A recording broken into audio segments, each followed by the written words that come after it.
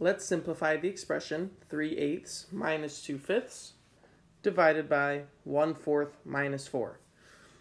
So the first thing that we're going to want to do is simplify both our numerator and our denominator. So we're going to have to carry out the subtraction on the numerator, which is 3 eighths minus 2 fifths, but we're going to need to get a common denominator. So we're going to multiply 3 eighths by 5 over 5 and 2 fifths by 8 over 8, which is going to give us a common denominator of 40.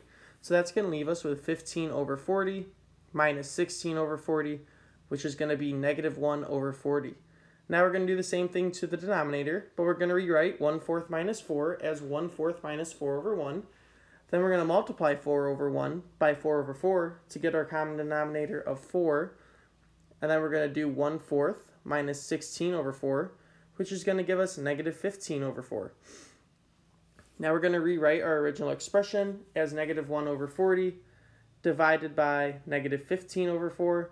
And right away, we can cancel out a negative 1 off the numerator and the denominator.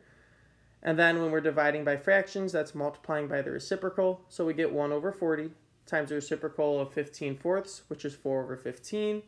And then we're going to multiply across the numerator and the denominator. We're going to rewrite 4 as 1 times 2 times 2 and 40 times 15 as 5 times 2 times 2 times 2 times 5 times 3 so that we can do our simplification. So now we can cancel two 2's off of the numerator and the denominator, which leaves us with 1 over 5 times 2 times 5 times 3, which is 1 over 150.